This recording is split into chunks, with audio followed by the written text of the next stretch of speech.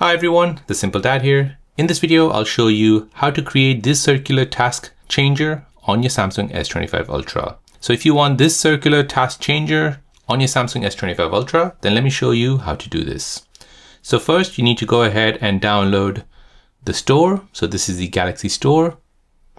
Next, in the Galaxy Store, go ahead and search for Good Lock. Go ahead and install this app.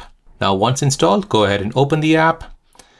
Now in the app, you're looking for another app called Home Up. Go ahead and tap on it. Now from here, you want to go ahead and switch this on and where it says task changer, go ahead and tap on this.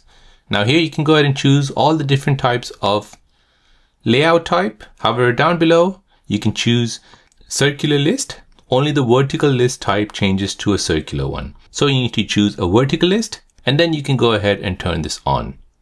So once you turn this on, you'll have this circular task changer on your Samsung S25 Ultra. So there you go guys, that is how to get the circular task changer on your Samsung S25 Ultra. If you're new on the channel and you want to find out more about your iPhone, your Android phone or any other social media apps, then don't forget to subscribe to this channel to become a part of the Simple Dad community. Hit the like button if you find this video useful.